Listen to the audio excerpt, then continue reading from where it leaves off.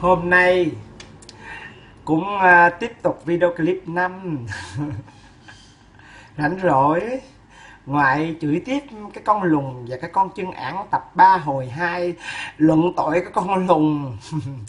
Cái tội mà thưa với bà con tôi nói cái tội mà lừa cha dối mẹ cái tội mà chửi cha mắng mẹ là nên đi tử hình.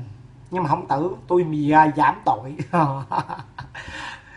Cái tội đó là phải tru di kiểu tập mà banh ra để cho mà răng đập nó chung vô trong tháng nó chạy ta lên não nó rồi bắt đầu là hút khí ra cho mẹ nó bú vô.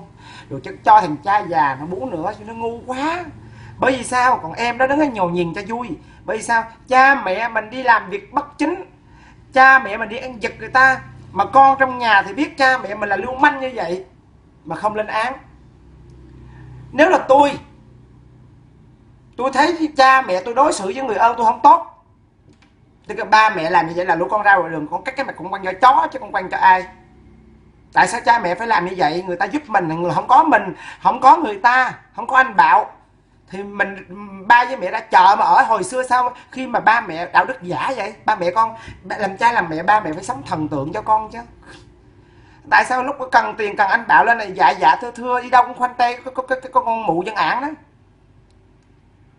Bây giờ hả mình làm ăn có tiền mình phải trả mắc mấy gì mình không trả để anh tưởng anh bảo anh đòi cái chuyện gì chứ? Anh đòi có 60 triệu, hai chân hụi sao? Anh không đạo ông đòi cái lượng vàng đi đám cưới anh cho. Mới là đúng. Người này là bạn bè người kia, bồ bịch cũng im, cái miệng không ai nói tiếng nào. Like cũng dám like. Chửi đúng quá mà chửi nghe là ai ai chửi thì bà bảo chửi thì nghe ai cũng ân bụng nhưng mà không dám like. Sợ. Mà khinh thường những người đã. Không bản lĩnh cho nên thực sự một điều à, nghe chi? Mà cái, cái, cái con lùng cái mặt nó gì? Chứ nếu tôi là tôi không không chơi bạn mình nó chửi mẹ mình là cái con điếm con đỉ. Nó đòi nhào cho nó bún nó đào nó đòi đập mẹ mình.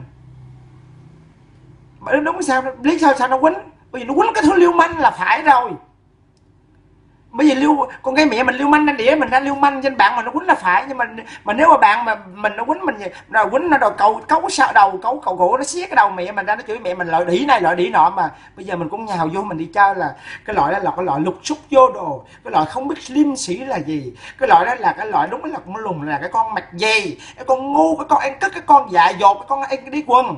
Cho tôi không có chơi còn tôi đâu có tôi đâu có, có, có, có, có, có tôi đâu có, có, có, có bị mẹ tôi đã bị bị nó chửi. Mẹ tôi làm làm cho mẹ chửi mẹ tôi là không được mà tôi đâu có làm mẹ tôi đâu có làm mẹ chửi.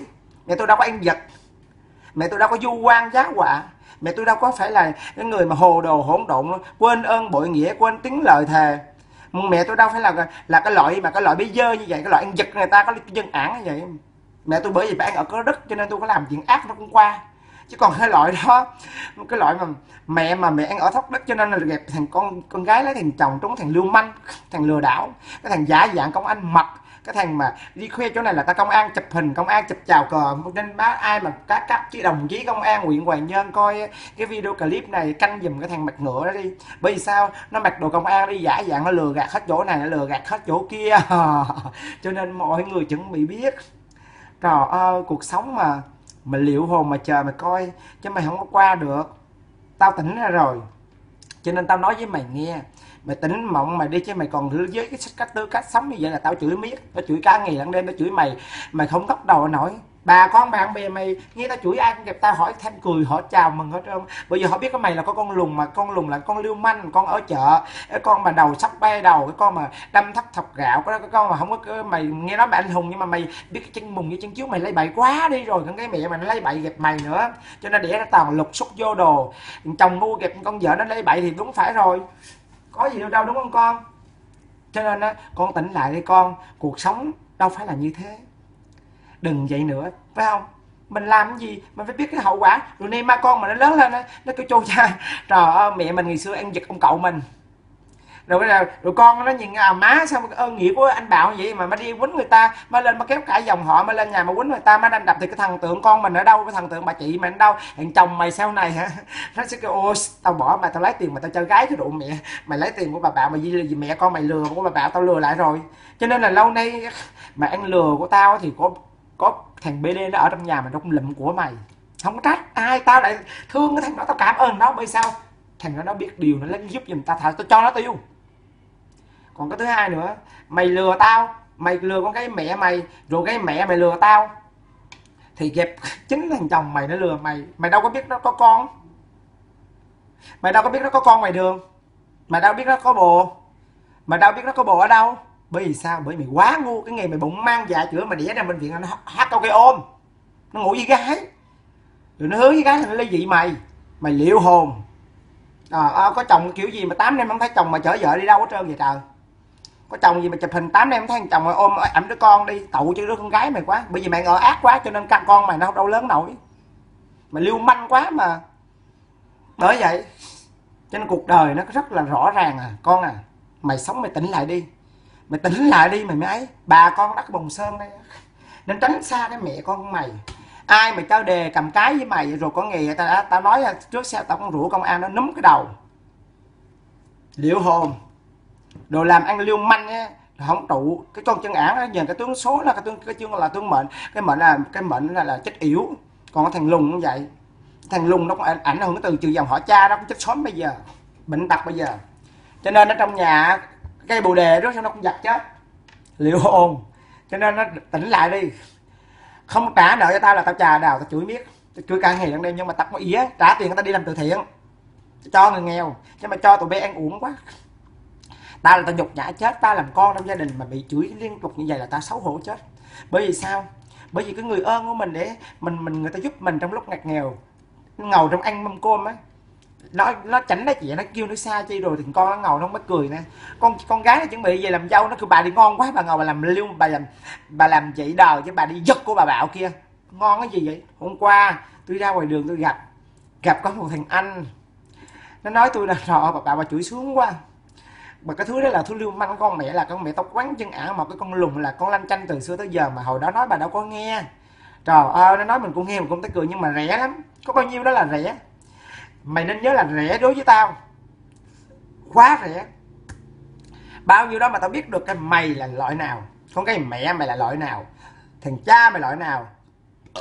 Ôi, nghe, ôi ôi ra chanh chút cái gì trơn á. Quá rẻ. Bị dư luận bồng sơn đến rủa ra nguyền, rủa mày là cái con lưu manh ở chợ. Con cái mẹ mày là con ăn giật từ xưa tới giờ. Cho nên cái cốt cọ lõi dòng họ nhà mày là đâu có ngon gì hơn ai cho nên cái loại mày là cái loại thịt ăn cháo đá máng, cái loại còn trâu bò. Trâu bò á, cho nó ăn á, dẫn nó ăn, nó còn biết đường về nhà. Nó biết kéo cho người ta cái cái miếng trục nó miếng đền, cái ơn đổ mồ hôi ra. Còn cái loại mày còn hơn xúc vật, nên tao nói với mày nghe tao nói ra để cho mày thấy. Tại sao người ta tốt với mình mà mình phải đi hành động như vậy? Người ta muốn nói gì gì mình? Rồi sẽ thấy. Đừng như vậy nữa, tỉnh mộng đi con đồ lưu manh thì gặp sẽ lưu manh. Trời ơi, lưu manh giả danh trí thức là chồng mày. Mày là có con dốt mà không dựa cột mà nghe làm lanh, làm đàn anh, đàn chị mày lấy bậy quá. Tao thấy bùng sơn này mày lấy ráo hết rồi, không còn chỗ nào mà giấu chồng mà nhiều cái lắm. Mày lừa chồng, mày hứa với chồng mày là cái gì? Bởi vì vậy cho nên nó mới sàn cái đầu mày ra. Bữa nay mày đâu có biết nó trai gái. Cái loại mày là cái loại xúc vật. Con cái mẹ mày là cái loại, cái đồ gọi là cái thứ trâu sông lạc. Chợ cái con ăn cướp ăn vật. Cho nên cái nhà còn có hai cm mày cũng ăn mày chặn con cái mẹ mày cũng chặn người ta không cho mày người ta làm. Để giờ người ta kiện tụng được người ta cũng lấy chuẩn bị cái mắt trắng cái nhà luôn. Để cơn của anh cướp mà anh cướp mà con cái mẹ mà nó lừa cả cái dòng họ nhà nó mà nó cứ lừa cả cái dòng họ nhà nhà nhà nhà, nhà chồng mà. Thằng cha mày ngu quá để con vợ mà con cái mẹ mà nó lộng hành vậy thôi. Bởi vì ăn giật mà ăn giật mà béo đưa vô cho tay mà không muốn đưa ra. Cái loại gì lạ vậy? Cái loại con người gì mà lạ vậy? Mẹ nào mà đi lừa con? Trời ơi tôi nói bà con nghe chứ. Trời ơi, cho các ở ở sang bây giờ về bữa chia đất đất đất không không chìm chia 20 phân 20 cm đất không? Cũng cung cung đòi kiện tụng là chặt đấy. Bây giờ người ta kiện, người ta lấy không ấy. Đồ thứ trừ tru đất việc xây cái nhà, yên sửa cái nhà xong ấy, rồi cũng chết bây giờ. Xây cái nhà, đồng cái nhà xong mà chuẩn bị vợ chồng ly gián làm ăn khó khăn, chuẩn bị chết. Bà con coi bà bảo bói toán bùng sao chuẩn bị vợ gia đình nhà nó ly gián. Một là hôn nhân, đổ vợ, hai là tan gia tan chế trong nhà, ba là chết, bắt đắc tự tử, bốn là là là là bệnh hoạn nệm chỗ liệt giường, liệt chiếu, rồi chẳng lên lại bà bà để bà gỡ bùa ra cho nha. Cái loại là loại thấp thấp đất. Cái loại là ăn vô tội dạ cái loại là là trầu tru đất diệt, cái loại là loại là không thể thông tha thứ được. Mày tính mộng mày đi, con đỉ. Mày là còn hơn cái con đĩ mày đi chợ nữa. Mày lấy ráo hết rồi con cái mẹ mày còn dâm tặc còn hơn nữa. Tao mà không phải là một đứa người đàng hoàng cứng cứng rắn á, tao là một người là ngay thẳng chứ nếu không á, con cái mẹ mày đi lấy bậy nhiều người nữa à. Đủ mẹ mày chứ tao xấu tao tốt thì tao ai cũng biết rồi.